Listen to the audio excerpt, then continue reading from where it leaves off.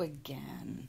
Well, I came across this really interesting thing to do with storing your paintbrushes. So, I went and got just any kind of pot that you had lying around you weren't using anymore. And then I got a few stones, stones from an old aquarium that we weren't using anymore and put them in the pot. About half fill the pot. You can judge that. Then I'm going to take my paintbrush and place it into the pot. So this is what I end up with, with a bunch of my paintbrushes.